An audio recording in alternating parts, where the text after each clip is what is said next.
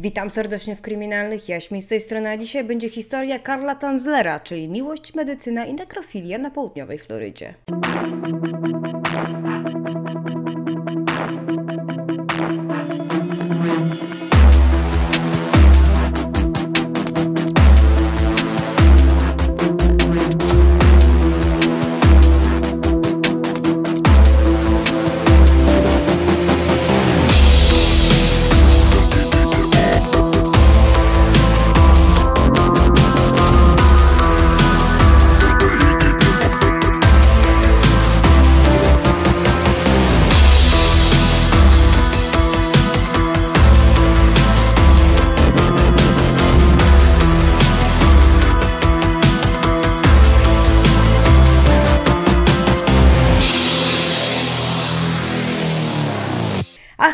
Floryda. Wspaniałe miejsce, plaże, palmy, jachty.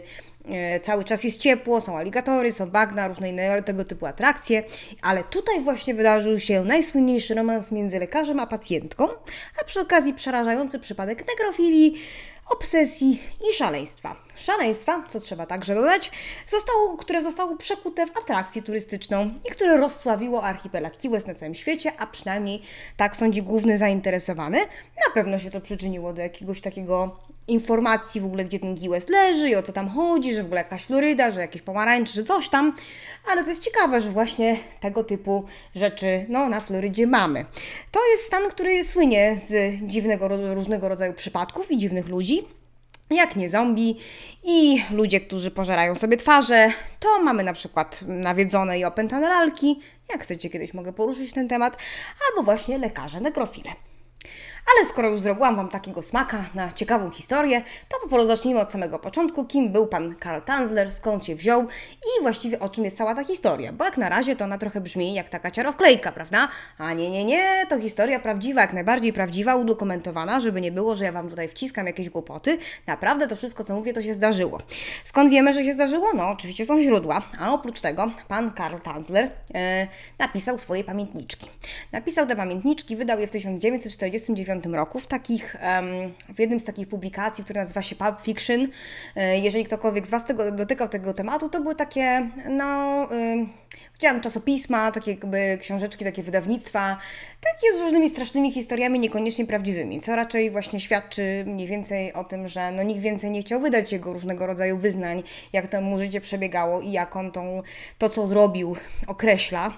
To akurat w tym wyszło, ale jeżeli chciałby ktoś po to sięgnąć, to proszę się nie obawiać, nie trzeba grzebać aż do źródeł z 1949 roku, to zostało później wznowione oczywiście. E, I z tymi pamiętniczkami jest generalnie problem. Dlaczego? No bo ja to oczywiście przeczytałam i te jego różnego rodzaju zapiski, wyznania, co tam się działo i tak dalej, i tak dalej, one się y, nieco różnią, a czasami nawet bardzo różnią od y, znanych i oficjalnych wersji wydarzeń. E, No więc ja się postarałam to tak jakoś zebrać do kupy, czyli po prostu wziąć to, co on tam wytworzył, opowiedział o sobie, o różnych nawiedzeniach, duchach, przekazach, przeznaczeniu, innego tego typu elementach y, grozy i uzupełni, uzupełniłam to faktami, tak żebyście mieli pełen obraz. Ale jeżeli ktokolwiek chciałby oczywiście sięgnąć, pogrzebać w tym bardziej, dotrzeć do różnego rodzaju źródeł, jak na to ludzie różnie reagowali, są na pewno jakiego, jakieś różne, różnego rodzaju artykuły, niewykluczone także, że gdzieś tam w prasie światowej się pojawiały, to oczywiście prawdopodobnie można do tego dotrzeć. Dobra, zacznijmy od samego początku. Pan Karl Tanzler urodził się 8 lutego 1877 roku, więc jeszcze w XIX wieku, w Dreźnie, w Niemczech, jako właśnie Karl Tanzler. Dlaczego to mówię? Dlatego, że później pan na przestrzeni z różnych swoich wypraw, bo on tam się przenosił, jeden kontynent, drugi, trzeci, czwarty, no to je występuje pod różnymi imionami, nazwiskami. E, Czasami właśnie występuje jako Karl pisany przez C, czasami jako Karl pisany przez K, a zupełnie w innych dokumentach występuje jako Georg, zupełnie z niewiadomych powodów, czy to było jego drugie imię, czy to właśnie było jego pierwsze imię, posługiwał się imieniem Karl, no tego już nie, do tego już nie dojdziemy. Natomiast no, w momencie, jak on się urodził, był małym, uroczym, rozwrzeszczanym berbeciem, który nabierał tchu w piersiach, żeby wydać swój pierwszy krzyk i wystawiano jakiś tam certyfikat urodzenia, to mu podbili Karl Tanzler. Wiem także, że on miał y, siostrę, urodziła także siostra, ale nie wiem, czy ona siostra była młodsza czy starsza. Wiem, że akurat tam ich dwójka była. E, on, jak on się urodził właśnie, jeżeli chodzi o jego nazwiska, to jak troszeczkę przez fakty, no bo on tam się w końcu na tym Westie znalazł, więc wyjechał do Stanów Zjednoczonych. No na, na, y, na, w Stanach Zjednoczonych to już posługiwał się imieniem Karl Tanzler von Kossel. Dlaczego von Kossel? Dlatego, że w momencie, kiedy no już przestał być tym słodkim berbeciem i zaczął móc mówić i zaczął móc się przedstawiać, no to zaczął się przedstawiać jako hrabia Karl von Kossel. Eee, no i później właśnie to już tak wszystko skomasował, więc jedno nazwisko, drugie nazwisko, trzecie nazwisko i tak dalej, i tak dalej. To wszystko jakoś tak y, zebrał w całość i on właśnie tym hrabiostwem się raczej szczycił. Czy to hrabiostwo rzeczywiście było im nadane, nie mam zielonego pojęcia. Źródła tego nie negują, może w ten sposób, ale to nie znaczy, że to rzeczywiście było. Wiem, że jego rodzice byli przy kasie, że oni mieli, jakąś, mieli jakiś dochód, z czego ten dochód był, nie mam zielonego pojęcia. Natomiast wiem, że on wraz z siostrą, Karl y, razem ze swoją siostrą, która w źródłach pozostaje bezimienna, on się wychował w posiadłości, która nazywała się Villa Kozel. E, I jeżeli ktokolwiek z Was interesuje się w ogóle historią Polski. Jakoś tak bardziej konkretnie, tak ogólnie, e, w ogóle XIX wiekiem, XVIII wiekiem szczególnie, to być może nazwisko Kozel coś Wam mówi. Gdzieś tam dźwięczy w jakimś kościele. A mianowicie no to będzie właśnie, jak mówię, element polski, e, że tak powiem, wątek polski, ponieważ ta willa, ta willa w Kozel była nawiedzana przez ducha zmarłej hrabiny w Kozel, właśnie tutaj, o, zaraz o niej trochę opowiem, która się objawiała w formie białej damy. To jest taki, na razie to jest tylko taka dygresja, ale ta hrabina, a właściwie ta biała dama, a właściwie ten duch, a właściwie cokolwiek tam nawiedzało, to będzie istotny element tej opowieści. Przynajmniej e, według pana e, Karla. On podobno był spokrewniony z hrabiną Kozel, znaczy cała jego rodzina była spokrewniona z hrabiną Kozel. Znowu źródła mm, temu nie przeczą, natomiast nie wiem za bardzo, jakie to było pokrewieństwo, czy bezpośrednie, czy to była jakaś ciotka, pociotka, gdzieś tam, coś tam, tego już nie wiem. W każdym razie on twierdził, że to ta sama krew. A kim była hrabina Kozel? No to tutaj właśnie musimy wrócić do historii Polski troszeczkę. Mianowicie mm, to ta pani nazywała się, e, znaczy on funkcjonuje bardzo często właśnie w historii, właśnie przez takiego jednego pisarza, pisarza, o którym zaraz powiem, e, jako hrabina Kozel. Tak naprawdę nazywała się Anna Konstancja Kozel, a tak w ogóle, w ogóle naprawdę to nazywała się Anna Konstancja von e, Brogdorf. Natomiast e, z czego ją znamy? No znamy do tego, że podobno była bardzo, bardzo piękną kobietą. Jak mówię, to pewnie widać jej, jej portrety. No, kwestia gustu. Takie były, takie były ideały piękna widać w, w tamtych czasach i była faworytą Augusta II Mocnego, króla Polski. Być może coś tam kojarzycie Taki pan z takim zazwyczaj zadziornym spojrzeniem i burzą czarnych loków. Um, w każdym razie no, była tą faworytą dość skutecznie, miała z nim trójkę dzieci i na dworze czuła się mocna, nawet bardzo mocna, nawet powiedziałabym, że wręcz za mocna w pewnym momencie, no bo czasami tak bywało na dworach królewskich, że faworyty to znaczyły trochę więcej nawet niż małżonki czy ktokolwiek inny i z ich zdaniem trzeba było się liczyć. Ona się trochę przeliczyła, e, mianowicie ona tam była włączona w jakiś spisek e, przeciwko królowi, nie będziemy aż tak robić, aż takiej dygresji, żeby to tłumaczyć. Polecam, żeby sobie, żeby sobie na ten temat odświeżyć wiadomości. No i efektem czego ona tam uciekła, później ją pojmali i na resztę życia e, zamknęli ją, e, została osadzona w takim, w takim w twierdzy, która nazywa się Twierdza Stolpen. I tam sobie siedziała. 49 lat bo oni powiedzieli, że do końca życia, nikt nie przewidział, że będzie żyła tak długo. E, w każdym razie umarła w 1795 roku, więc hu, hu, hu, hu, to tam e, prawie że 100 lat wcześniej, zanim e, pan Karl na świat przyszedł. Jeżeli byśmy coś chcieli więcej o tej hrabinie poczytać, bo to w ogóle jest ciekawa historia, to jeżeli, to był taki pan, który nazywał się Józef Ignacy Kraszewski. Nie wiem, czy on coś to mówi, na przykład, bo to, to nie jest taki Kraszewski pod tytułem gdzieś tam jakiś sąsiad z bloku, tylko taki pisarz był. I ten pisarz, on kiedyś był na liście lektur, ja nie wiem, czy on teraz jest na liście lektur, no w ogóle nawet nawet nie wiem, czy jest omawiany gdziekolwiek tam, chyba że na studiach wyższych gdzieś tam może. I on popełnił taką powieść, zresztą bardzo znaną, klasykę literatury polskiej, która właśnie nazywała się Hrabina Kozel. Polecam naprawdę, to jest bardzo fajna lektura, wbrew pozorom. E, nie lektura, że przymuszona, tylko lektura dla przyjemności, można sobie przeczytać. A jeżeli ktoś nie lubi czegoś takiego, żeby tam jakieś literki składały się w słowa, to słowa w zdania i książka i strony i w ogóle coś tam, to jest film, bo już było tak łatwo, żeby film nakręcili to no, już jakiś czas, jakiś czas temu, bo w 68 roku. W 1968 roku wyszedł film pod tym samym tytułem, Hrabina Kozel. E, I był chyba także serial. Bo to był taki syndrom wtedy telewizji polskiej, e, który później dość długo jakoś tam funkcjonował, że był film i serial zrobiony, um, na przykład jak Wiedźmin. I właśnie w tym, e, właśnie w 60., w 60. latach, pod koniec 60. lat. Pewnie gdzieś to można dostać. Jeżeli ktoś z Was pamięta takie stare czasy, że w ogóle były tylko dwa kanały telewizji, to prawdopodobnie gdzieś tam ten film widział, bo on tam co jakiś czas był przypominany, czy to jakieś święta, czy to jakaś taka przerwa w nadawaniu, nie było nic innego, to puszczali tą hrabinę kozel po nocy. Mm, e, w każdym razie fajnie i ciekawe sobie to odświeżyć. Może akurat Was natchnie, żeby sięgnąć do klasyki literatury lub klasyki filmu. W każdym razie będę, że główną rolę grała Barańska. Polecam. W każdym razie hrabina Kozel była już tutaj w momencie, jak ten pan Karl się urodził, już była duchem. Znaczy, no już nie żyła, no może w ten sposób. W każdym razie, według niego, bo on jej poświęca bardzo dużo e, akurat uwagi w e, swoich zapiskach, ona była mistrzynią alchemii. Skąd on to wykoncypował? No bo ona siedziała tam w tej twierdzy Stolpen przez ileś tam lat, E, w samotności. To znaczy, powiedzielibyśmy, że została zamknięta w wieży, ale to akurat nie, dali jej większy wybieg. Mogła sobie po całym tej twierdzy chodzić, z tego co ja wiem. I no, ona tak sobie żyła, prawda, jeden rok, drugi rok, czyli 10 lat, 20 lat. No i oni stwierdzili, że to trochę tak jakby, no ona się trochę, trochę się przeliczyli, bo nie wiedzieli, że do końca życia ona nie chce umrzeć. No i według pana Karla to oni ją tam próbowali otruwać parę razy, ale ona w sekrecie wzięła jedną proboweczkę, drugą proboweczkę, nauczyła się alchemii sama z siebie i dzięki temu potrafiła się właśnie e, ochronić przed różnymi, rodzaju, różnymi rodzajami otrucia i nikt jej nie mógł otruć i ona sobie dożyła tylko tam tych 49 lat za kratami. E, właśnie dlatego, że miała takie zdolności alchemiczne. I Karl twierdził właśnie, że jako potomek pani hrabiny tej talenta odziedziczył. E, to było we krwi, ta alchemia i to wszystko. I te probóweczki. Znaczy on tak twierdził. Nie wiem, czy to tak było, czy to tak genetycznie tak prze przekazywana jakaś taka pamięć wsobna, jak u mrówek czy u kogoś, no ale no, no ta, takie miał podstawy. W każdym razie za młodu się interesował różnymi dziwnymi rzeczami, a akurat alchemia tam nie jest wymieniona, bo on się głównie za młodu interesował lataniem, a dokładnie samolotami, bo to też było wtedy takie trendy, że tam, że przyczepić skrzydła i lecimy, że tam były podejmowane jakieś próby, zepeli, cepeliny, nie cepeliny, tam coś tam próbowano tam się wznosić w powietrze tak z takim większym sukcesem niż na 3 minuty, żeby spać na, na twarz. No i jego to bardzo fascynowało. Jako dziecko to także bardzo lubił legendę o e, walkiriach. Tutaj już nie będę robić bardzo długiej dygresji, ale Valkyrie to były takie latające dziewice w mitologii nordyckiej, które e, latały dookoła pola bitwy, wybierały najdzielniejszych wojowników, co zginęły w bojach i zabierały je na tych swoich latających koniach tam gdzieś tam na, do Walhali na niekończącą się imprezę.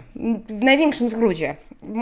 Jakby tak ktoś chciałby bardzo się tak wgłębić, to naprawdę źródeł jest od groma w tym temacie. No więc jego interesowały latające baby.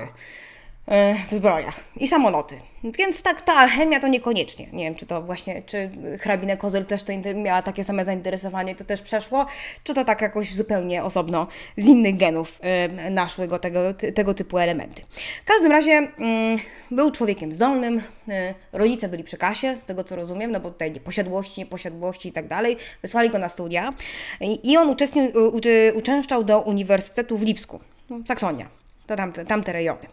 E, I uczęszczał, uczęszczał, tam się uczył, uczył i wiem, że w posiadłości właśnie on miał zbudowane całe laboratorium.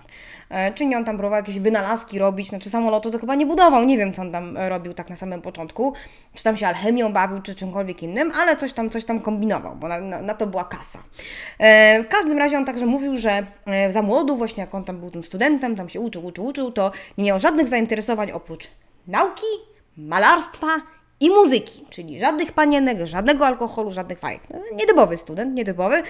I biorąc pod uwagę po tym, co jak mu się tam, co się z nim dalej działo, jak mu się poprzepalały różne tam, że tak powiem, przewodziki w mózgu, e, i różne, że tak powiem, atrakcje zwróciły jego uwagę, no to E, morał z tej historii to chyba jest taki, że najlepiej na studiach to się jednak wyszaleć, bo później może troszeczkę Twoje życie nabrać bardzo dziwnego kolorytu i skręcić w bardzo dziwnym kierunku.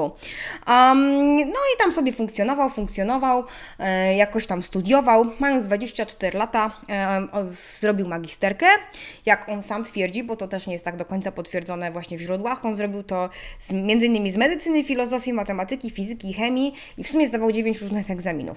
Mówmy się, że to wtedy zdanie egzaminów magisterskich na tak, na tak szeroką skalę, to, to był oczywiście wyczyn, ale no, no, no zakres y, na przykład fizyki, czy tam matematyki, czy te, czegokolwiek innego, no to nie był tak szeroki, no bo nikt mu nie kazał ani zdawać e, informacji na temat y, robotyki, czy wirtualnej rzeczywistości, tak, no coś tam, coś tam miał, tak, no na przykład po prostu jak tam podczepić mm, koła do beczki, żeby, żeby się nie, nie rozbiła, no, no nie wiem na, na, naprawdę, tak naprawdę jak, jak wyglądała jego, jego wiedza, w każdym razie no zdał te egzaminy.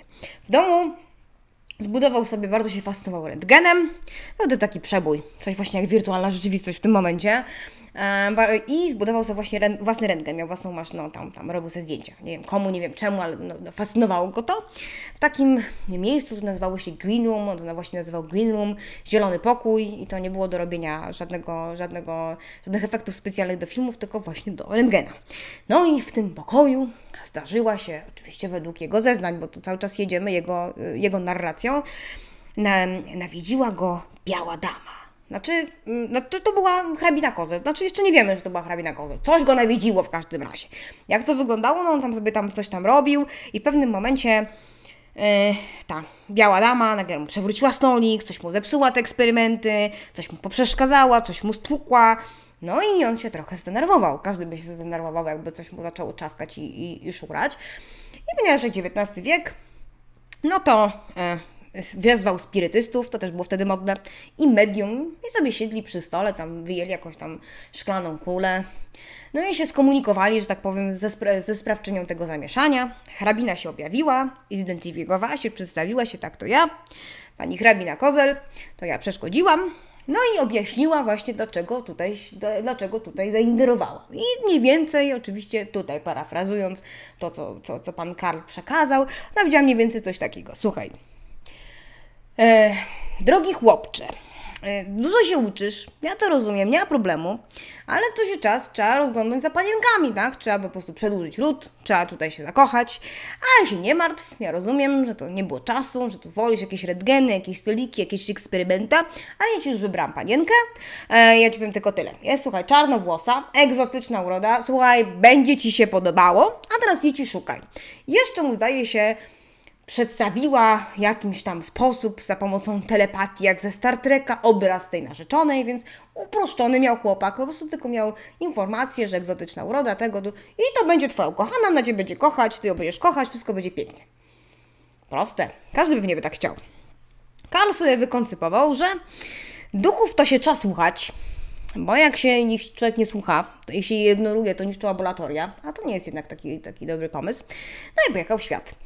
Yy, stwierdził, że to nie jest głupi pomysł, że to jakby no, kazała, no to się ruszymy, tak, no, że tak powiem, trzeba się słuchać starszych. To, że nie żyją od jakiegoś czasu, to jest nieistotne.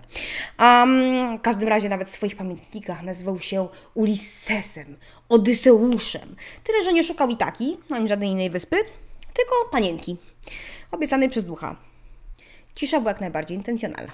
E, do rzeczy. E, w każdym razie na samym początku trafił do Indii. Nie wiem, być może szukał za kolorem włosów, no bo jak India, no, czarnowłosa, no, w sumie pasuje, tak? Imperium Brytyjskie wtedy tam było, tam sobie pochodził, poszukał, popatrzył, tutaj nie pojeździł na słoniu, no, ale w tych Indiach nic nie wyniknęło, tak? Nie podobało mu się tam. Coś tak pomyślał sobie, te Indie to jednak do dupy.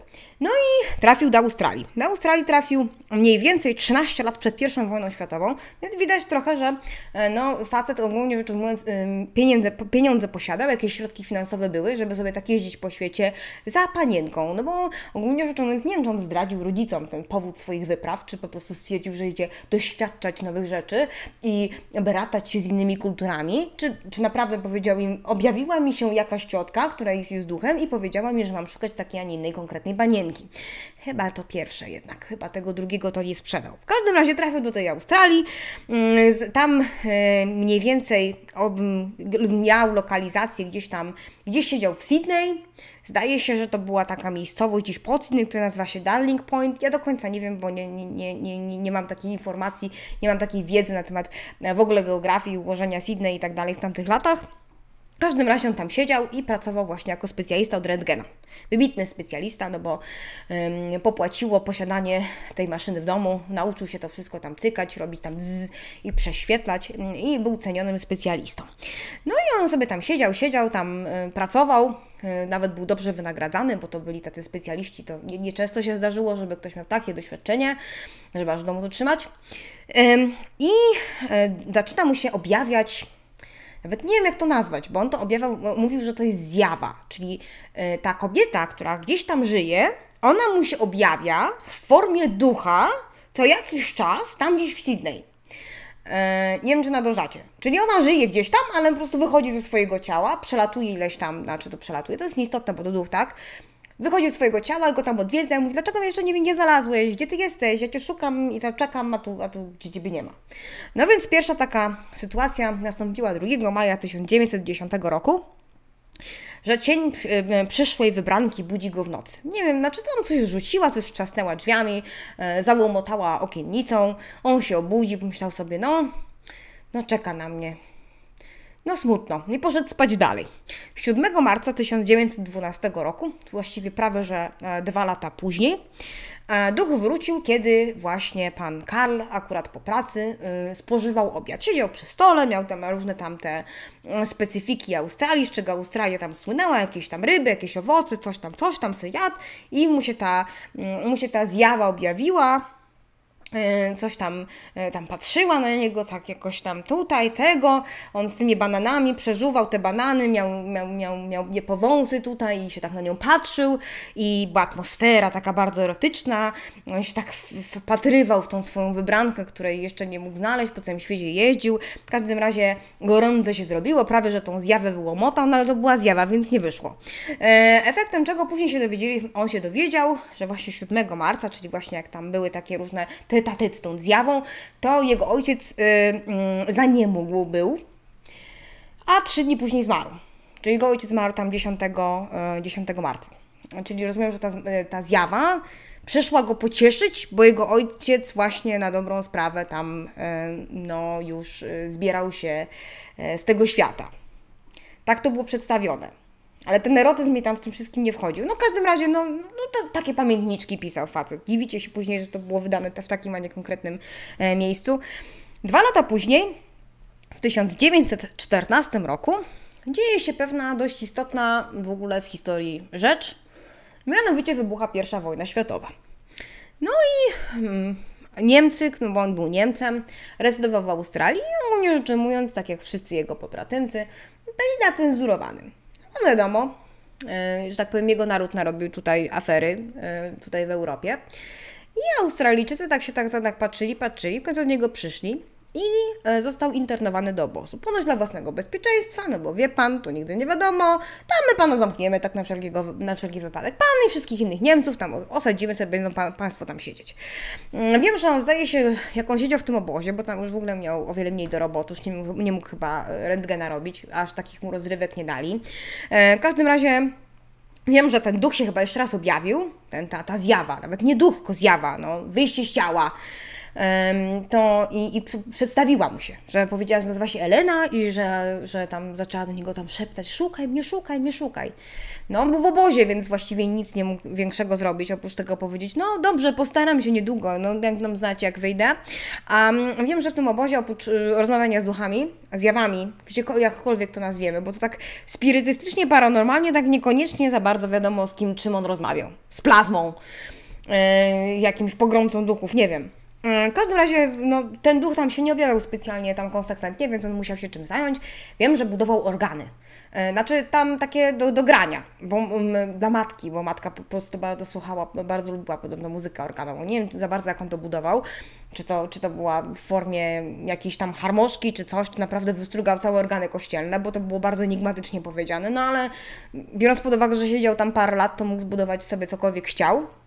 I wiem, że z innych źródeł się doczytałam także, że on e, budował także łódź. No bo ten mały konstruktor mu został z tymi walkiriami, z tym wszystkim. Wprawdzie no latać to nie, nie bardzo, no ale łódź to już było coś w, w, w, że tak powiem, w obszarze jego możliwości. I tam właśnie chciał wybudować tą łódź, uciec. Nie wiadomo za bardzo, gdzie była Australia, to naprawdę blisko niczego nie jest, oprócz Nowej Zelandii. I tam gdzieś tam się zgłosić i powiedzieć o tych strasznych warunkach, jakie panują w tym, w tym obozie internowanych. No bo tam domyślamy się, że to raczej nie był e, hotel pięciogwiazdkowy, ten obóz internowany, tak? To raczej warunki były, powiedziałabym, skromne, tak? No, niekoniecznie ten. Ale ten, ten, ta, ta łódź mu nie wyszła. Ogólnie rzecz ujmując, tam słabo wychodzą te wszystkie wynalazki różnego rodzaju. On tam co, co jakiś czas różne rzeczy buduje, ale jakoś ich nie kończy. Wiem, że te organy skończył, więc y, może temu powinien się bardziej poświęcić niż jakimkolwiek krętgenom czy czegokolwiek innym tam. Dobra, pan Karol siedzi sobie w obozie, siedzi, siedzi, siedzi, buduje różnego rodzaju tam e, rzeczy, czyli no dobra, jedzonko było słabe, no może lokacje też nie do końca, no może łóżeczko niewygodne, ale tam różnego rodzaju narzędzia mu dostarczyli, żeby się nie nudził. W każdym razie wojna się kończy. Wojna się skończyła, e, no ale Karol ani nie uciekł, ani nic, za to się ożenił. A o czym w pamiętniczkach za bardzo nie wspomina. Nie wiem, może nie lubił żony, albo coś, albo nie pasowało mu do, do ogólnej koncepcji świata, ale się wziął ożenił. No bo tam Elena, duchy, zjawy, tam obiecanie, że hrabina Kozel tam mu coś tam tego, ale z drugiej strony, no jakoś żyć trzeba, tak? Umówmy się. No i w 1920 roku poślubia Doris Annę Schaffer e, i poślubiają dość skutecznie, mianowicie rodzą się mu dwie córki. Pierwsza w 1922, e, Ayesha Tanzler, która zresztą zmarła w 1998 roku, więc całkiem niedawno. Znaczy, no nie niedawno, właściwie to było prawie 20 lat temu, ale ja cały czas mi się wydaje, że 90 lata to były właściwie 3 dni temu. A druga córka, Crystal Tanzler, w 1924, więc on się urodził w 20, w 22 pierwsze dziecko, w 24 drugie dziecko. Niestety ta młodsza córka Krystal, ona specjalnie długo nie pożyła, e, dlatego że ona zmarła na błonicę. No ale ja o tym jeszcze trochę wspomnę. W 1935 roku, jak ona tam umierała, to on był już w szale, że tak powiem, nekrofilskim, że tak powiem, więc w ogóle nie zwrócił uwagi. O żonie, o dzieciach w pamiętniczkach ani słowa za bardzo nie znalazłam. Może było tam gdzieś tam coś wspomniane, ale musiałoby to być bardzo enigmatycznie, bo dla niego ten temat w ogóle nie istnieje. Tak jakby się wziął, żenił, no bo trzeba było, trzeba było jakieś dzieci, bo coś tam, ale tak nie było jakieś tak specjalnie zajmujące. Um, Wiem natomiast, że on ma dość dobry kontakt z, matkiem, z matką, bo mówiliśmy o tym, że on tam budował te organki, coś tam, bo tam mama chciała kiedyś jakieś organki, no i w każdym razie matka do niego pisze i mówi, słuchaj, bo coś idziesz w Australii, tam w sumie są pająki, węże bez sensu, może byś sobie tak pojechał do siostry przeprowadził się do siostry. Ponieważ siostra, ta właśnie bezimienna, którą się tam wychowywał, znaczy bezimienna, ona ma jakieś imię, ale ja nigdzie w źródłach nie znalazłam jakie. Um, w każdym razie siostra mieszkała właśnie na Florydzie. Ona wyszła za mąż, wyemigrowała do Stanów Zjednoczonych i mieszkała w takiej miejscowości Zephyr Hills. To mniej więcej jest w okolicach Tampy. Jeżeli ktokolwiek z Was z Florydy jest, na Florydzie był, to nazwa Zephyr Hills prawdopodobnie coś mu mówi, dlatego że po prostu to jest nasza słynna taka woda, e, tak jak na Łęczowianka. To jest po prostu taka nasza woda w butelkach, taka lokalna. To, to na stamtąd. Więc ta, ta, ta siostra właśnie tam mieszkała gdzieś tam koło tej wody. Chyba sobie zorganizowali jakiś biznes, w każdym razie były tam jakieś tam konkrety. I ta matka stwierdziła, żeby on do tej siostry dołączył, czy tam jej coś pomógł, czy coś tam. W każdym razie, żeby tam cała rodzina już siedziała na tej Florydzie, a nie, że on tam w Australii, ona gdzieś tam, a, a, ta, a ta żona, a ta, a ta siostra na Florydzie, to, to można zwariować, yy, w którą stronę się obrócić, więc yy, żeby już się tam spakował. I Karl mówi, w sumie to nie głupie, nie? To ja tam pojadę. No i wypływa sam, na początku sam wypłynął, 6 lutego 1926 roku, no bo też z drugiej strony patrzymy, w 26 to, to tego dzieciaki były małe, tak, 4,2 y, latka. I plan był taki, o czym oczywiście tego w pamiętniczkach także nie ma, że jego y, żona i jego córki później do niego dołączyły. On miał być takim, miał tam pojechać jako pierwszy, przygotować jakieś miejsce, jakiś dom, jakieś tam wszystkie ingrediencje, meble pozałatwiać, tak? Y, internet podłączyć. I one później miały dojechać. No i on sobie tam płynął, płynął, płynął, statkiem tak mu wesoło było. Um, ten statek zresztą właśnie płynął przez Hawanę, na której on wylądował na, wylądował na Hawanie na Kubie 27 e, lutego, czyli no płynął co? Trzy tygodnie. I tam odkrył na tej Hawanie, że bardzo, bardzo mu się podobają latynoski. O nim chyba trochę mniej, ale tak się y, siedział na tej Hawanie chyba 4 dni, tak się, że tak powiem, y, kontemplował kubański klimat, patrzył się na różne panie. Żadna nie odpowiadała opisowi hrabiny. No to, no, no, Popatrzył sobie, to na lewo, to na prawo, no ale w końcu w każdym razie wylądował w Key czyli nie tyle, że pojechał do siostry, bo z Key do, do Tampy to jest kawałek drogi, przy tamtych możliwościach i przy tamtych jakichś tam e, różnego rodzaju pojazdach, e, pewnie głównie konnych wtedy jeszcze, chociaż nie, no nie, 900, 926 to absolutnie nie konie, to już, już, tam, już tam jakaś tam produkcja, że tak powiem, samochodowa była jak najbardziej. No ale to tam to, to jest kawałek do, do, do Tampy. W każdym razie on osiedla się na Key West, tam zaczyna pracować w US Marine Hospital, tam go przyjmują do pracy i tam także już funkcjonuje jako Karl van Kozel, czyli już tutaj już oficjalnie jest, że tak powiem, przybił sobie, przyjął sobie tą Janą jako, jako główne. Tam pracuje jako technik rentgenolog, czyli no, po prostu robi dalej te prześwietlenia. On utrzymuje także, że, y, że był zatrudniony jako patolog, że były braki kadrowe i po prostu go zatrudnili na dwa etaty. Y, natomiast mm, źródła, do których ja dotarłam, poddają wątpliwość, że on miał jakieś takie właśnie, żeby miał licencję e, w ogóle lekarską, że ja nie wiem, czy on w ogóle mógł leczyć, bo jemu się wyda, on nam napisał, że nam załóż na egzaminy, natomiast ja nie wiem, czy on w ogóle był takim certyfikowanym lekarzem, w jego mniemaniu tak, co jednak nie zmienia faktu, że Key West wtedy, no to była taka mieścina, więc, y, więc to może go tam przyjęli, bo rzeczywiście mieli mało rąk do pracy. On coś tam z tej medycyny kumał, coś tam wiedział. Nie wiem do końca, jak to wyglądało. W każdym razie, no patolog brzmi na pewno dumnie, o wiele dumniej niż po prostu pan od robienia y, tam y, zdjęć rentgenem. No ale wtedy to, że tak powiem, specjalista do rentgena to miał takie życie no, na wypasie, bo no, to byli rzadcy specjaliści, no do tego to trzeba było się tam jakoś tam uczyć, coś tam trzeba było wiedzieć e, i oni byli bardzo poszukiwani, a nie, nie, nie musieli tak się strasznie męczyć o, o pensję pewnie jak teraz. W każdym razie no siedzi, pracuje, ta żona tam w końcu dojechała. Od, jak mówię o tej żonie z tymi córkami, to ja niewiele wiem, bo po prostu ono jej nie wspomina, a źródła są bardzo skąpe, tak, no bo nie, nie patrzyły za bardzo z jej perspektywy. Um, w każdym razie nadchodzi dzień przełomu, 22 kwietnia 1930 roku. Mianowicie do szpitala US Marine Hospital na Key West przychodzi pani, która nazywa się Elena Hoyos. Dwudziestolatka, piękna kobieta i pan Karl ma z nią styczność, dlatego że pobiera jej krew. Z opuszka palca zresztą. I on patrzy jej w twarz i mówi, poznaje, to jest ta, co mi hrabina ileś tam lat temu w tym zielonym pokoju pokazała. I to jest ta, to jest ona. Y, no i tam zakochany od razu od pierwszego wejrzenia. Natomiast już się pojawia pierwsze problemy.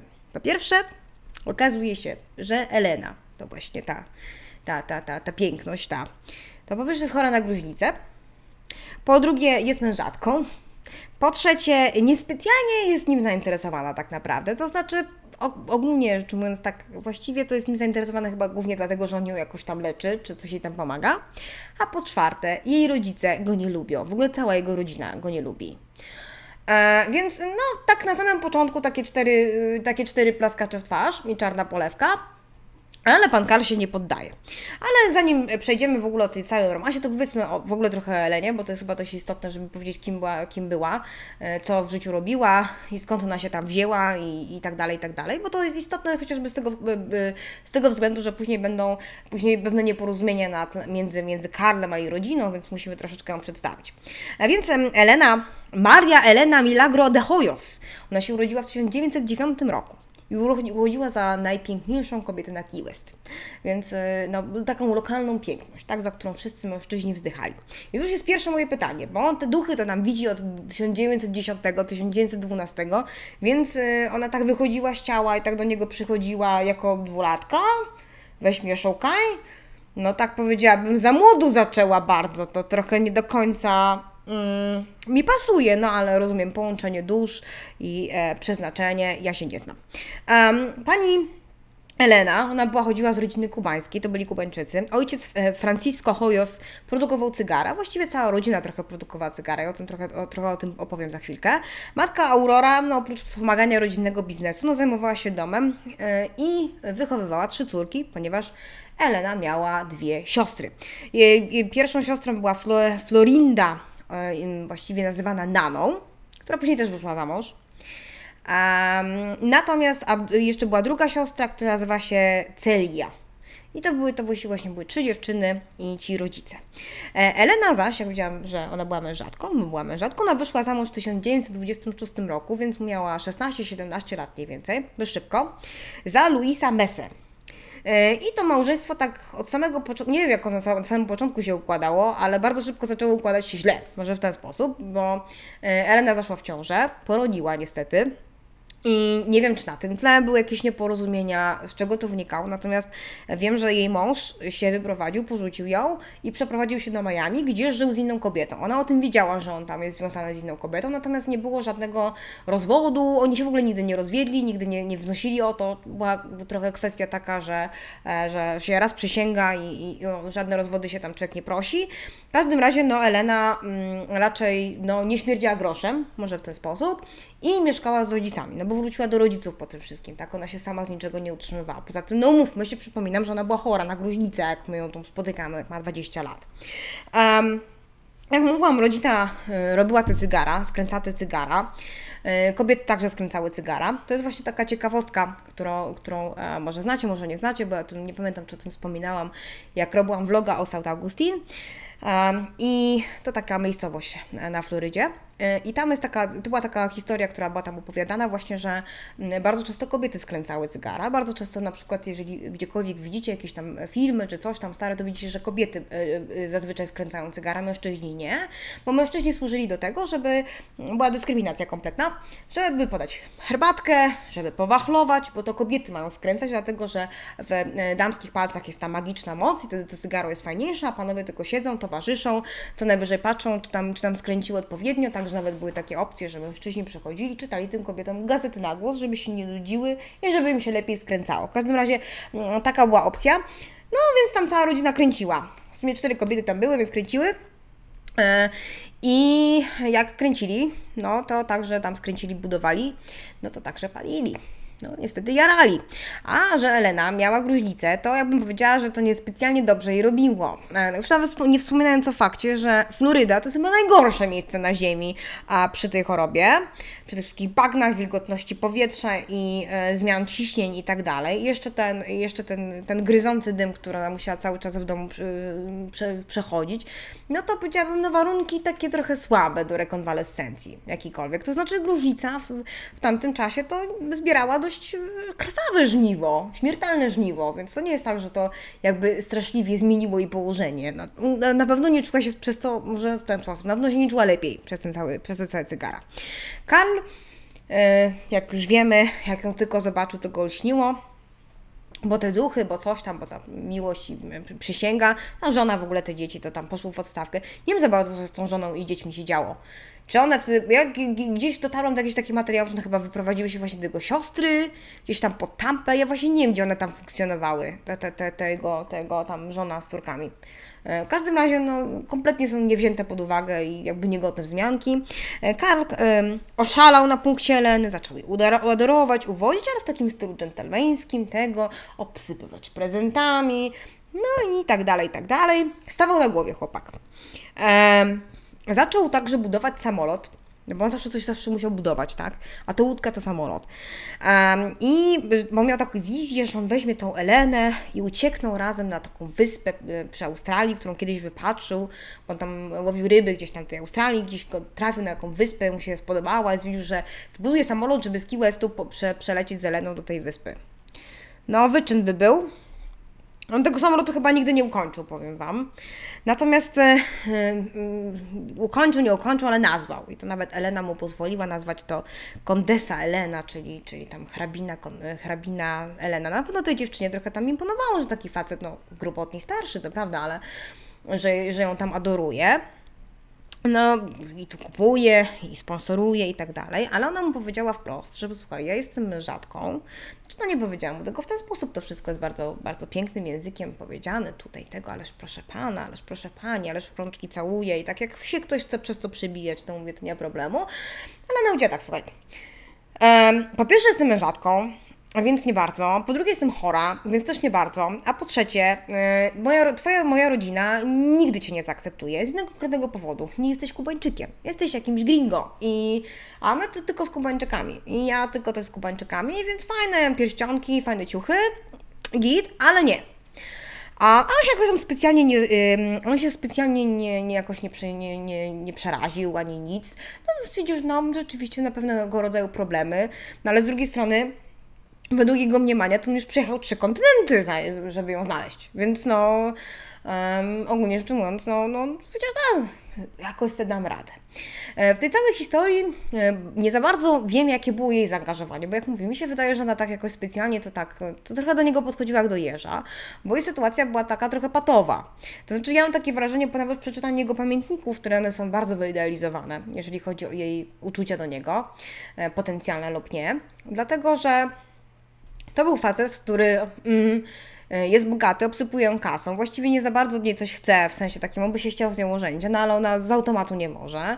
E, staje na głowie, żeby ją wyleczyć, e, różnego rodzaju tam specyfiki sprowadza, jakieś tam terapie, nie terapie, on za to wszystko płaci, więc no mm, troszeczkę głupio z nim nawet nie pójść na spacer, nie? No wiemy o co chodzi, tak? Więc ona tutaj, nie, nie, nie widzę tutaj w żadnym wypadku jakichś wielkich wyznań miłości, to on raczej nie, to on raczej takie wyznania czyni, natomiast ona jest bardzo e, w tej kwestii ostrożna.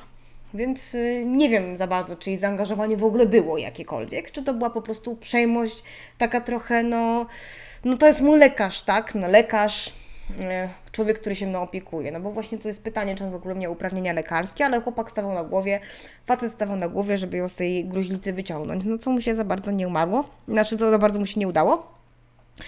Um, natomiast e, wiem tyle, że jego, jej rodzina, no, która no, wiedziała za bardzo, że tam z tego małżeństwa to, to nic nie wyjdzie, bo on tam smali do niej cholewki, smali, ale to tam nie za bardzo. Wiem, że on został zaproszenie na ślub e, siostry Eleny, Nany, której wspomniałam wcześniej. Ona się tam wychodziła za mąż jakoś tam za faceta, jakoś chyba Mario Medina się chyba nazywał ten facet. E, było takie kubańskie wesele i on został tam zaproszony jako gość. Nie wiem, czemu został zaproszony jako osoba towarzysząca e, Elenie, czy był po prostu zaproszony jako jeden z gości, no ale po prostu no, no, tam był na tym, na tym weselu. E, e, w każdym razie rodzina, w pewnym momencie rodzina Eleny, to się tam wszystko dzieje, ona się teraz gorzej czuje. Ta rodzina Eleny zaczęła czuć, że coś z tym facetem jest nie tak, że on się za bardzo trochę zaangażuje, że on tutaj ładuje kasę w nią, dobra, okej, okay, wszystko w porządku. No ale to zaczyna przybierać jakieś takie fragmenty, takie, takie, um, takie w, w, takie klimaty wchodzić, które mi się to nie podoba. Honor jest ważny. I nawet był taki moment, że oni się w pewnym momencie wyprowadzili.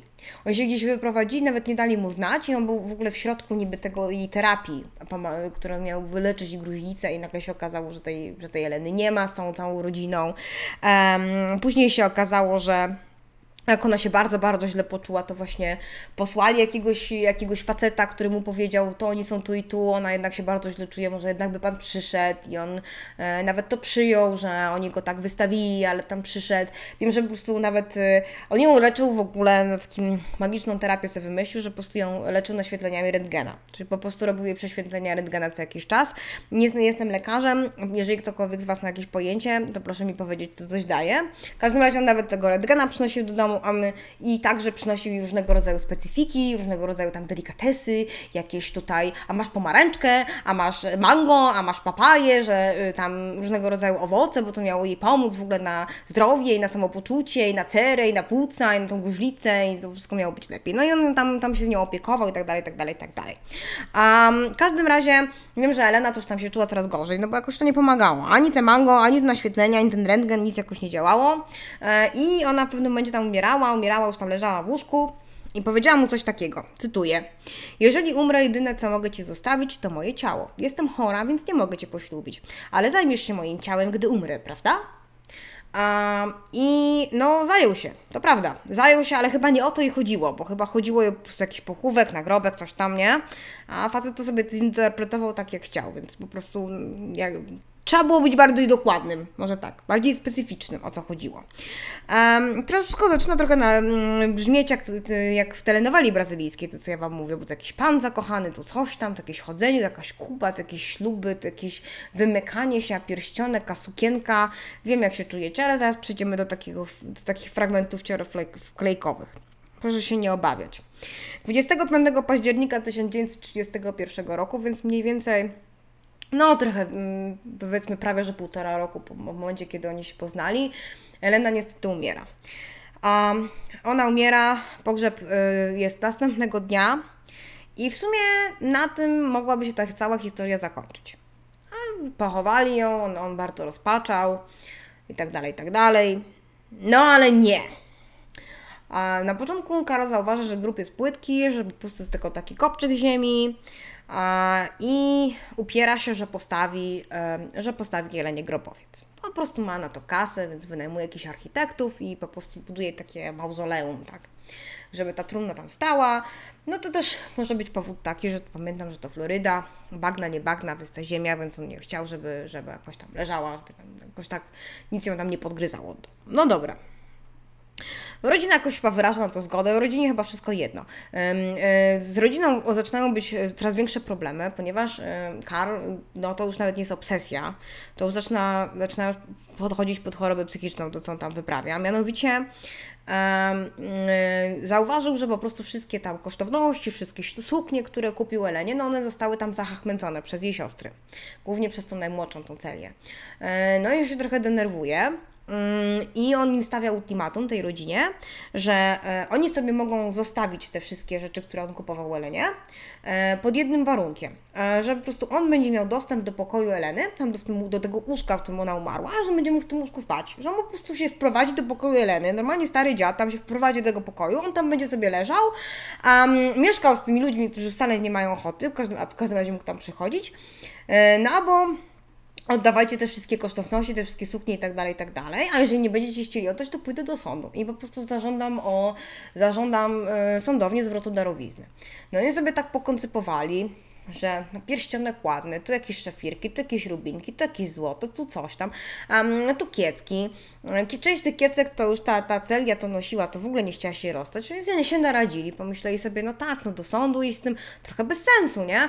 No to dobra, no to możesz Pan spać. I w końcu oni się dogadali właśnie, że on tam przychodził do tego, do tego pokoju Eleny, bo to, bo to łóżko, ta pościel pachniała jeszcze Eleną, coś tam, coś tam i on tam spał no yy, niezła jazda. Znaczy dla tej rodziny to musiała być jakaś straszna trauma, naprawdę, po prostu, że oni właśnie stracili dziecko, a tu właśnie jakiś facet, właściwie dla nich kompletny obcy, bo, bo ani to ani swat, ani brat, ani nikt, a on po prostu będzie tutaj spać w tym łóżku, po prostu musi wdychać zapach Heleny. No dramat.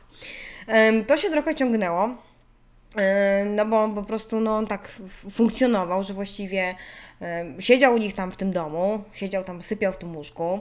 Nie wiem, co na to jego żona i dzieci, nie mam zielonego pojęcia. Jak mówię, oni zostali z tej historii wykreśleni prawie że całkowicie. A, a w nocy, co, co noc, co wieczór właściwie chodził do tego grobowca, który tam powstał, do tego mauzoleum i on tam przychodził, tam było takie miejsce, ławeczka i że on sobie mógł popatrzeć na tą trumnę i on sobie tam rozmawiał, tak właściwie um, mówił do tego ducha Eleny, która tam, tam była tam martwa w środku i tam sobie z nią konwersował. To mniej więcej 18 e, miesięcy trwało. No, ale w pewnym momencie trwać przestało. No i to jest ten moment, kiedy niewolnica Izaura zmienia się troszeczkę we wzgórza mają oczy, czyli e, malutki, a malutka zmiana banana e, i następuje przełom w sprawie i właściwie zaczyna się historia właściwa, więc wstęp tym razem był bardzo, bardzo długi, ale wbrew pozorom istotny. Pewnej nocy w kwietniu 1933 roku on sobie tam siedzi w tym mauzoleum, coś tam mówi i nagle e, Elena mu odpowiada. On nagle, on tam gadał, gadał, ale ona była martwa, więc nic nie mówiła. Ale teraz dalej jest martwa, natomiast już zaczyna do niego mówić. I w sumie od razu z pretensjami. I mówi mu tak, słuchaj, ty sobie śpisz w moim łóżku, tak? Przychodzisz tutaj co noc. Wracasz sobie, masz wygody i tak dalej, a ja sobie siedzę w trumnie. To jest bez sensu, słuchaj. To nie jest prawdziwa miłość, jak ty mnie traktujesz. No, we, weź stary, co ty robisz? Weź się ogarnij. No więc yy, on chami prostak.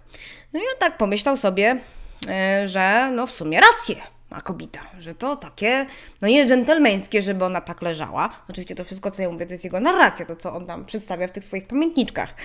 Um, I 24 kwietnia w nocy czyli no tego samego roku, tam troszeczkę chwilę później, e, wykrada jej ciało za pomocą takiego wózka, takiego wózka takiego jak na, na zabawki, takiego małego, wykrada to całe ciało, e, strumny i zabiera do domu, swojego domu, nie do tego domu jej rodziców na szczęście. Jeszcze był taki temat, że tam coś mówił, że e, macie, jak wiózł to, to, to, to ciało e, na tym wózku skrzypiącym, to on jej śpiewał jakąś serenadę po hiszpańsku, żeby, żeby duch Heleny podążył za tym ciałem. Bo miał wątpliwości, czy on jest tak specjalnie związany, czy, no bo biorąc pod uwagę, że ta ta zjawa skakała po wszystkich kontynentach do niego gadając, że tak chodź, chodź za mną, bo tutaj wiesz, ja biorę twoje ciało, to będzie głupie, jak ty zostaniesz w tym mauzoleum, a to ciało sobie pojedzie, nie? E, no więc rozumiem, że Elena stwierdziła, że dobra, to ja z nim też pójdę, tak duchowo i cieleśnie, znaczy martwo cieleśnie, ale też z nim pójdę.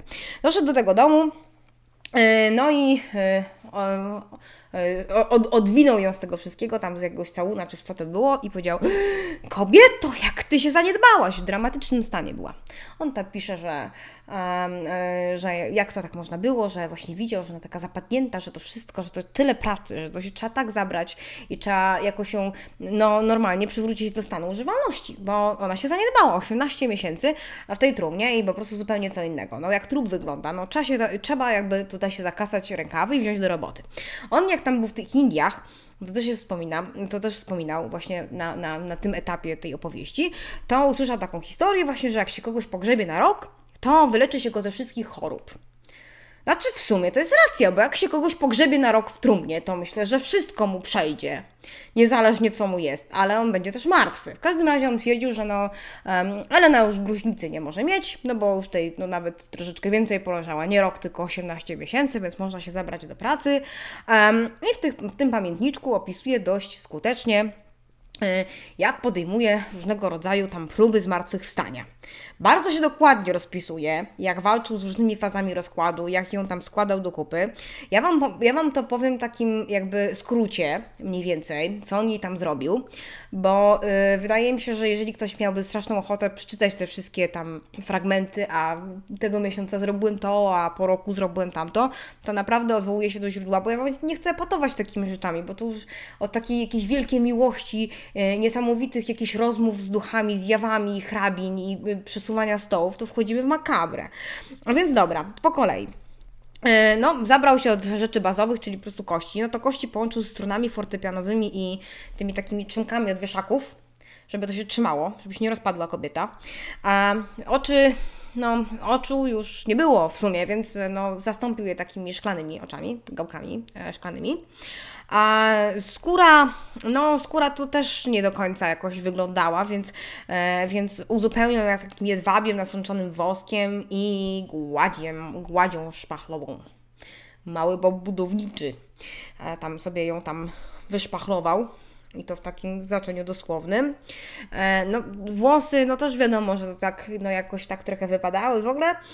Więc on stworzył perukę z jej włosów I to jest ciekawe właśnie, że użył też włosów, ponieważ e, jej matka dała mu e, jakieś włosy, które czy tam, czy ona wcześniej obcięła, czy coś tam, które ona miała po prostu po, po córce zmarłej i po prostu on tą perukę zrobił z tego, co tam zostało i z tego, co ta matka dała. Matka oczywiście nie miała pojęcia zielonego, że on się po prostu bawi w Frankensteina tutaj. Um, jeżeli chodzi w ogóle o kadłub, E, no to wypychał szmatami, żeby jej się, że tak powiem, te Twin Peaks nie zapadły, no bo to istotny element, prawda, piękności. A no i do tego wszystkiego tam spryskiwał różnego rodzaju perfumami cały czas, żeby zamaskować odór rozkładu. E, no jeszcze nasącał tam chemikaliami, to właśnie mówił, że tymi różnymi tam specyfikami tam y, traktował to ciało, te zwłoki, no to właśnie jest ten wpływ tej hrabiny Kozel, bo ona go tak natchnęła, bo ta chemia, bo coś tam, ona wprawdzie przed truciznami się chroniła, on tu y, mumifikuje ciało, ale to tam połączenie, tam drobna tam różnica. Um, w każdym razie no, próbował to spowolnić ten proces rozkładu jak mógł i nawet był zadowolony i i to jest śmieszne, że on cały, czy śmieszne, to jest przerażające, ale on cały czas mówi o tym właśnie, jak to Elena do niego mówi, jak ona mówi, o, jak to fajnie, że teraz wyglądam rzeczywiście, no, no to słuchaj, tak łać szpachlowa to mi tak zrobiła na cerę, no nie masz pojęcia. Więc on cały czas prowadzi tutaj z nią dyskusję, ona jest martwa, on to cały czas. Um, wiem, że w pewnym momencie ona, on zaczął ją, ją, że tak powiem, spać z nią w jednym łóżku, więc tym bardziej tam dorzucał więcej perfum, żeby mu tam, że tak powiem, pewien e, swąd nie przeszkadzał. E, no i jakby sobie tam z nią funkcjonował, tak? To znaczy, no z nią, no z jej ciałem może w ten sposób. On w ogóle wierzył, że Elena w pewnym momencie powstanie z martwych i się światu objawi. Um, według jego pamiętniczków, no to była tam taka opcja, że on mówi, no nie, no ja bym chciała wyjść do ludzi, się pokazać, nie, tutaj zrobiona jestem.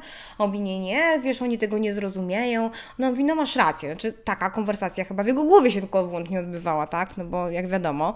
Um, no ale miał jakąś taką, taki, taką chyba wizję, jakiś taki apetyt satysfakcji zawodowej, że on tutaj, prawda, że prawie że jak łazarza z grobu przyniesie, to tutaj, o, Elena jednak żyje, jednak tutaj widzicie, wyście ją pochowali, a mauzoleum mi zbudowali, a tu co? No ale Elena mimo wszystko, mimo tych wszystkich jego prób, e, jedwabiów, jakichś tam e, wkładania kości, nie kości, gałek ocznych i tam innych rzeczy, no na zmartwychwstać jakoś nie chciała za bardzo. Um, I tam, chociaż no jak mówię, no, tam dyskusję cały czas prowadziła, czy może teraz, czy może później. Jak mówię, polecam pamiętniczek, proszę sobie go przeczytać, szczególnie polecam studentom medycyny. Myślę, że, że tak powiem, e, załamiecie się, ukryjecie w pewnym momencie twarz w dłoniach, bo tego się chyba inaczej nie, nie da rady przeczytać, biorąc pod uwagę, co on, co on tam wyprawiał z tym, z tym ciałem.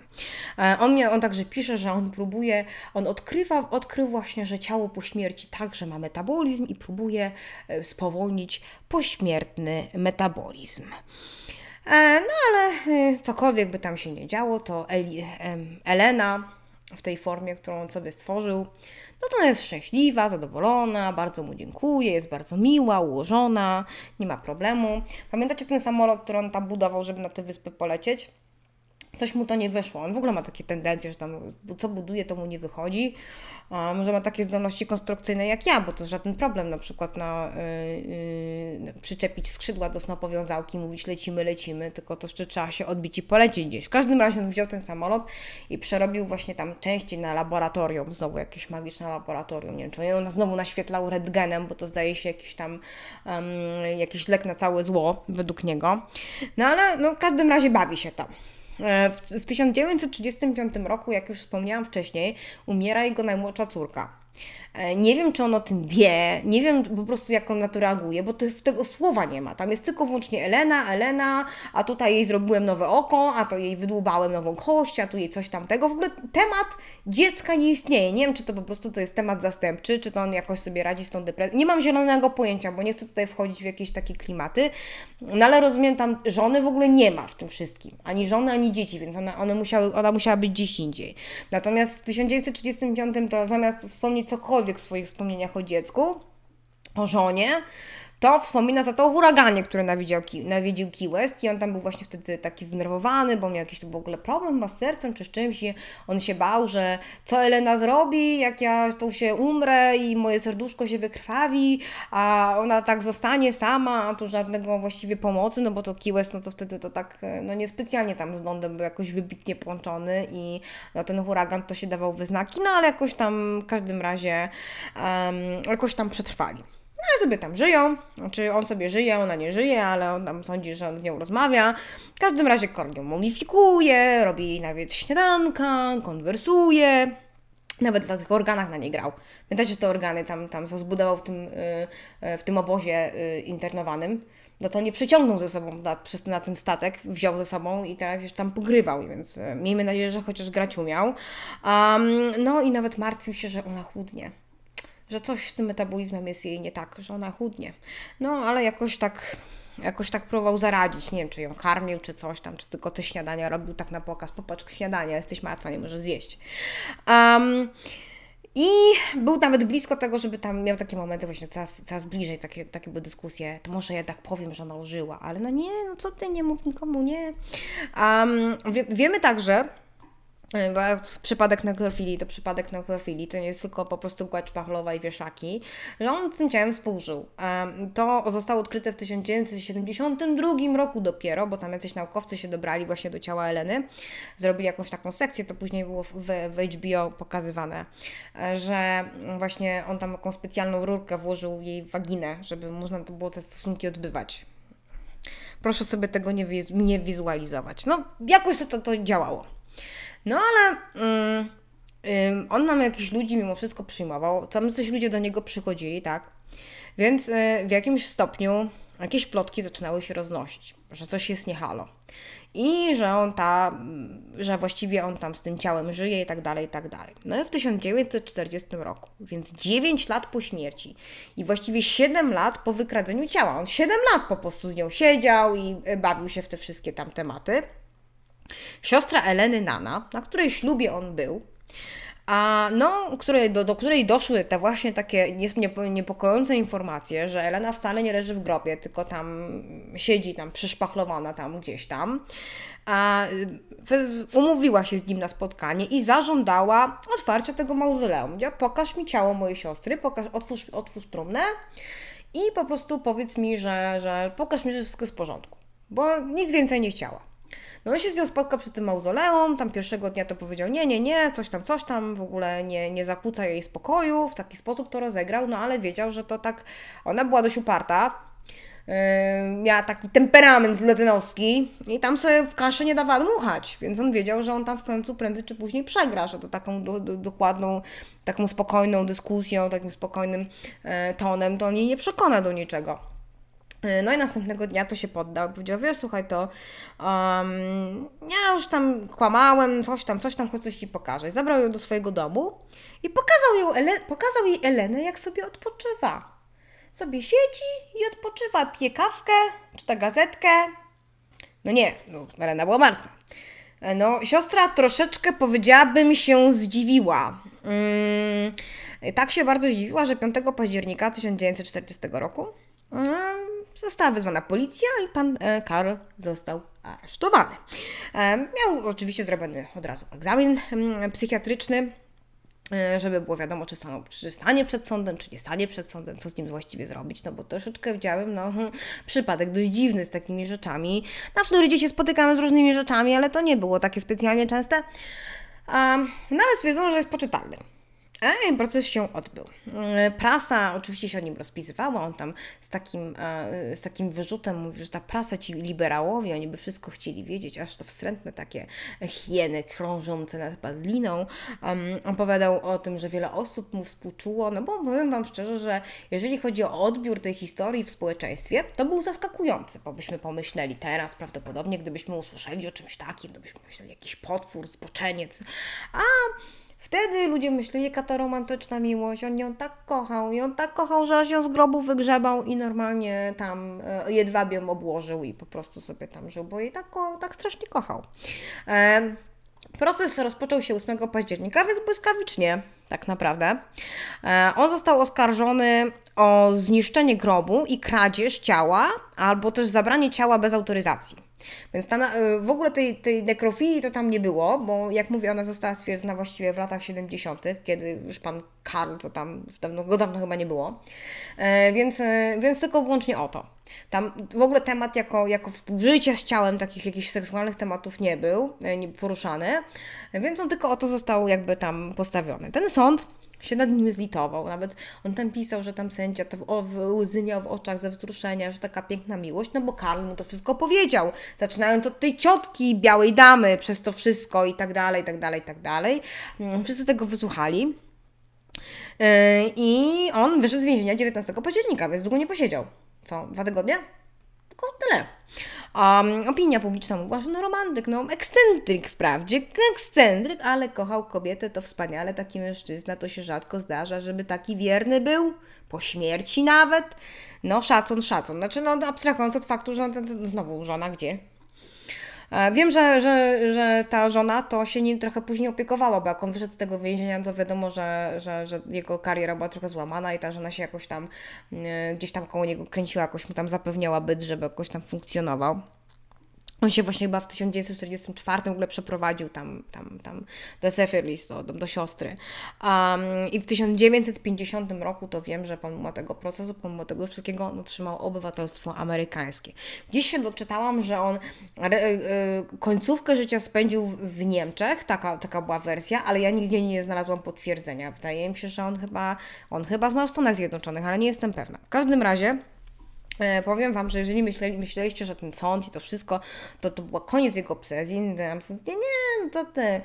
On miał taką maskę pośmiertną Eleny, którą jej zrobił, czyli po prostu taką, taką z gipsu czy z czegoś tam.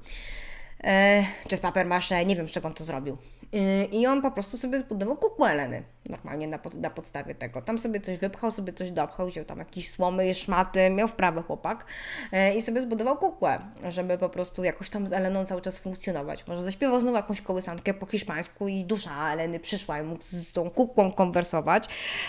Istniały też takie plotki, takie przesłanki, nawet niektórzy twierdzili, że to jest stuprocentowa prawda, że jak mówiłam, że opinia społeczna to raczej twierdziła, że to był taki, no to wspaniała miłość, uczucie e, ponad podziałami i inne takie, że nawet była opcja taka, że właśnie że ktoś wykradł ciało Eleny i w ogóle mu dostarczył oryginał, że on się nie musiał z kukłą bawić, ale nie, nie wydaje mi się, że to by to było realne, dlatego że yy, po prostu została później przeprowadzona sekcja zwłok Eleny, więc w 70 latach, więc znowu to, co, co on nie tak później tam pochował, nie wiem za bardzo, jak to wyglądało. Yy, wiem, że on nawet w pewnym momencie tam ludzie do niego przychodzili, dzielili się, dzielili się różnymi delikatesami, coś tam mu przychodzili, jakieś czekoladki, coś mu dawali, coś tam, coś tam, no i on opowiadał o Elenie i nawet chyba zdaje się, że jeszcze chyba na Key był, że on chyba sprzedawał właśnie maski pośmiertne, coś tam, więc nawet tam już takie tam zrobił z tego taki mały sklepik, prawda, że prawie, że youtubera koszulki po 9,99, y, więc zrobił z tego jakąś tam imprezę i nawet tak mówił, że właśnie dzięki temu, dzięki tej miłości, temu wszystkiemu, to mm, Elena została rozsławiona. Zresztą do dzisiaj to mauzoleum tam jest, to, to wszystko jest tam na, na Key West. Jak ktoś tam pojedzie, ma ochotę, zainteresowała go ta, ta, ta historia tak strasznie, że chce posłuchać, no to, to, to może posłuchać. A co z tą Eleną, bo to jest też ważne, znaczy yy, jej ciało zostało najpierw wystawione w kaplicy cmentarza, no bo wiadomo, że to była głośna sprawa, naprawdę głośna sprawa. Yy, I ludzie przyjeżdżali to ciało oglądać bo to takie tam, co on tam z nim zrobił. Um, było szalenie zainteresowane, zainteresowanie, nawet kolejki stały żeby zobaczyć tą Elenę, jak ona wygląda. A później, jak już się, że tak powiem, e, gawić nacieszyła oczy, uszy i w ogóle radośnie było, no to e, ona została pochowana, według danych, w jakimś takim miejscu, w jakimś tajnym miejscu, żeby Tanzler jej nie znalazł, nie odkopał. Później rozumiem, że ten grób został jakoś tam oznaczony, bo można było przeprowadzić jakąś sekcję. Znowu wracam do tego tematu, bo niektóre źródła właśnie tak enigmatycznie to mówią, znaczy w tajemniczym miejscu. No, ktoś tu musiał wiedzieć, gdzie to tajemnicze miejsce jest, tak, żeby dokonać później jakiejś tam czynności. Um, no i te, te maski, to wspominam, te pośmiertne maski, to były tam jako pamiątki, um, jako pamiątki sprzedawane. Więc... Um, Tyle mam dla Was. Tak się mniej więcej skończyła historia pana Tanzlera, jego wielkiej miłości i pani e, Eleny, która zachorowała na gruźlicę i trafiła na dziwnego lekarza, e, co właściwie nie zrobiło jej wielkiej różnicy po śmierci jej, jako jej, natomiast no, jej ciało to zostało no, tak, a nie inaczej potraktowane, więc historia jest niesamowita, bo ta historia, powiem Wam, że ona bardzo często funkcjonuje jako ciorowklejka, jako, taki, jako taka creepypasta, historia o duchach, która nie ma żadnych podstaw i właściwie jest wymyślona przez kogoś tam gdzieś przy ognisku, a tu niespodzianka, to się okazuje, że to prawda, najprawdziwsza prawda. Czasami wariatów to jest więcej niż, niż straszniejszych historii, tak? Mm, ale przejdźmy sobie do takich źródeł, różnych takich e, popkulturowych informacji, innych takich rzeczy. Jeżeli ktoś chciałby zgłębić tą sprawę tak bardziej, bardziej, bardziej, to źródeł, to źródeł trochę jest. Po pierwsze są to jego pamiętniczki. To jest ta książka, ona jest w kilku wersjach wydana, znaczy wiem, że na pewno jest po angielsku wydana, można ją sobie kupić, to chyba jest nawet bestseller takich tam e, różnych opowieści z Key West, bo na Key West się tam różne rzeczy działy, no ale ta historia no, budzi największe zainteresowanie, więc cały czas tą książkę, więc e, jakby nie powinno być problemu ani z e-bookiem, ani jakimiś takimi rzeczami. Nie wiem, czy została przełożona na inne języki, nie mam pojęcia, proszę się zorientować w najbliższej swojej księgarni, gdziekolwiek byście nie mieszkali. Um, wiem, że był odcinek HBO Autopsy, w 2005 roku, gdzie się właśnie tam badali ciało e, Eleny, jak ona tam zostało tam przygotowane, co on z nią robił i tak dalej, i tak dalej, to na pewno wiem. E, wiem, że była taka powieść, która nazywa się e, Buried, który było na mniej więcej na motywach właśnie takich, takich klimatów, ale to nie to była powieść, to, było, to po prostu była jakaś tam opcja e, gdzieś tam na, na motywach, może w ten sposób, ale nie przedstawiająca tego z jakiejś tam innej perspektywy, tylko tyle wiem. Wiem, że jest sporo dokumentów, nawet na YouTube jest trochę, oczywiście w linkach macie, tam w źródłach na dole są linki, może sobie rozwinąć opis, tam kliknąć więcej, tam jest, tam jest sporo linków i tam sobie możecie sobie poklikać, tam część jest na YouTube, część nie, to musicie sobie zobaczyć. E, myślę, że co jakiś czas ktoś wraca wraca do tej sprawy, więc, e, więc proszę być na bieżąco. Jak ktoś naprawdę ogląda ten, ten, ten odcinek po jakimś czasie, to kto wie, może Netflix coś wypuścił, albo ktoś tam, albo Hulu, albo ktoś, więc to, to, to trzeba sprawdzać. I e, ta sprawa, jak mówię, wiele osób fascynuje. Jest taki kompozytor, który nazywa się Danny Elfman. On bardzo często współpracuje z Bartonem. On robił muzykę do Batmana, do Edwarda Nożycorękiego, to ma coś tam kojarzymy. I ten pan właśnie napisał w 2001 roku scenariusz filmu, który nazywał się Undying Love, e, właśnie opowiadający tą historię, ale nic z tego nie wyszło. Przynajmniej ja nie, nie dowiedziałam się, żeby on coś takiego zrobił w końcu, żeby to jakoś tam ujrzało światło dzienne. Być może zostało to tak zmienione, że, że właściwie nie za bardzo wiadomo co gdzie, jak gdzie. E, no, ale no takie plany były. I mi się wydaje, że kiedyś w Hollywood za to sięgnie, po, po to sięgnie, tylko że Właściwie jak się patrzy na tą serię tak zupełnie spokojnie, to to jest naprawdę zapis yy, takich trochę rojeń wariata, bo yy, no facet miał taką obsesję, że on, on z nią rozmawiał z tym wszystkim, tym wszystkim, to trochę ciężko jest zrobić, żeby nie popaść w taką jakąś takie przedstawienie jakiejś takiej paranoi kompletnej. Wiecie o co chodzi, więc na to jakoś nie wyszło. Nie wiem, może kiedyś wyjdzie, no ale to było co 16 lat temu, więc yy, no jakby nie wiem, czy mu już po prostu nie przeszła para, żeby to robić. Może, może, może się zajmuje jakimiś innymi projektami. Jak mówię, jak mówiłam, że Elena i, to, i, ta, i ta, ta cała sytuacja z Karlem to, to jest atrakcja turystyczna, to ja nie, to ja nie przesadzałam, bo naprawdę to jest atrakcja turystyczna. Są takie muzea, które nazywają się Believe or Not. One są w, w Londynie, wiem, że jest, nie wiem, gdzie jest jeszcze w Europie. Na pewno gdzieś tam pojawiają się, replaya. I, I to są takie różne dziwy, dziwactwa, jakieś tam zmniejszone główki, największy człowiek, najmniejszy człowiek, coś tam, największy but, jakieś takie tam różne rzeczy można zobaczyć. Bardzo fajne, jak ktoś ma ochotę ochotę. I ta oddział jest oddział na Key West i w tym właśnie y, Believe in or Not, y, w, tym, w, tym taki, w tym, tym muzeum takim, właśnie jest wystawa poświęcona Elenie. I nawet to właśnie jest tam chyba kopia, czy tej maski, czy kopia całego tego jej ciała, czy czego tam. Więc jeżeli ktokolwiek miałby, miałby ochotę coś tam się przejść, zobaczyć, to, to zapraszam. E, też gdzieś Wam wrzucam taki filmik na YouTubie faceta, który właśnie specjalnie na Kiłys pojechał, żeby zobaczyć właśnie tę wystawę. Więc działa. Dalej magnes działa. Z trupami i ze wszystkim. Więc tyle mam dla Was. Mam nadzieję, że Wam się ta historia podobała. O ile, o ile w ogóle takie rzeczy mogą się podobać. Że Was nie zawiodłam. Wiem, że ostatnio było sporo kryminalnych historii, ale lubię do nich wracać, bo to są takie naprawdę sprawy, które czasami się wygrzebuje, e, czasami mm, narasta wokół nich dużo legend, dużo mitów, czasami wydaje się, że w ogóle to się nie miało prawa zdarzyć, a czasami właśnie jest ciekawostka, bo się może zdarzyć. I to została się taka kwestia, która została zaspirowana przez kogoś z Was w komentarzach, nie wiem czy na misiach, czy na grupie facebookowej Misie Kolorowe, czy gdzieś w komentarzach tam na kryminalnych gdzieś tam pod, pod, pod filmikiem, ale bardzo dziękuję, bo, bo bardzo mi się ciekawie przygotowywało ten konkretny materiał. No i mam nadzieję, że także Was usatysfakcjonował. Jak mówię, jeśli chcielibyście się czegokolwiek więcej dowiedzieć o Karlu Tanzlerze, źródeł jest sporo, polecam, żeby sobie samemu pogrzebać. Dobra, to wszystko na dzisiaj. Mam nadzieję, że będziecie mieć fantastyczny dzionek i do zobaczenia niedługo. Buziaki, papa! Pa.